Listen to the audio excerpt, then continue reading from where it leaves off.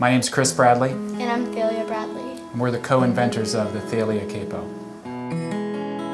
The Thalia Capo is a unique take on the capo. One of the things that I've always disliked about capos is you're always having to clamp them in, in, odd ways and I wanted something that would really allow you to use the same fretting motion that you do when you do a bar chord to be able to put the capo onto the neck, move it to any position and slide it around. And so the capo is all of that, plus we've really taken the idea of artistry and beauty and tried to bring those things that come from guitars like fine woods, like Hawaiian koa and bird's eye maple, and actually bring that into the capo so that the capo is also a work of art. So the Thalia capo is a little bit heavier than a normal capo. What we've done is we've actually turned the lever arm 180 degrees so that you can actually depress the capo with your fretting hand instead of having to constantly do something up here on the top of the neck. The advantages of the Thalia capo is that you can now easily put the capo on, change the key even in the middle of a song or in between songs you can do um, very smooth transitions um, and even use it somewhat like a slide.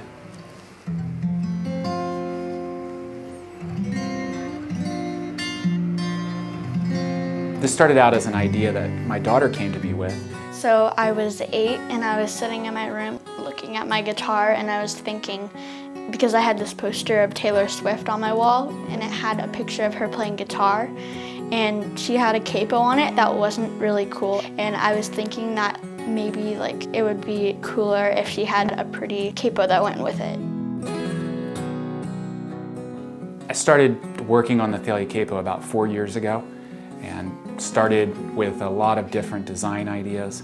And so we went through a whole round of prototyping where we looked at different ways and, and, different mechanisms for how we could achieve the result we were looking for.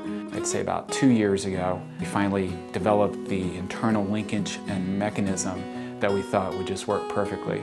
The spring was also something that has taken a lot of development to get the spring tension to work just right.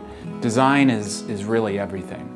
Design when you have this gorgeous form that meets just an amazing function, that marriage is what really, to me, makes a product exceptional.